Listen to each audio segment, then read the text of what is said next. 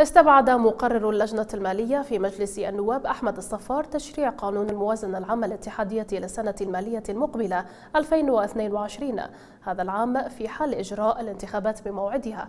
وقال الصفار أن الموازنة تعتمد على الوضع السياسي وسيكون الخيار البديل المحتمل هو العمل بنظام واحد على 12 أي تكرار تطبيق موازنة 2021 وأضاف أن ذلك يعود إلى التوقيتات الزمنية الحقيقية ولن تخدم الموازنة. وإذا جرت الانتخابات فنحتاج بعدها أربعة أشهر في الأقل ليباشر مجلس النواب الجديد أعماله وينتخب الرئاسات ومن ثم تتشكل الحكومة والحكومة الجديدة.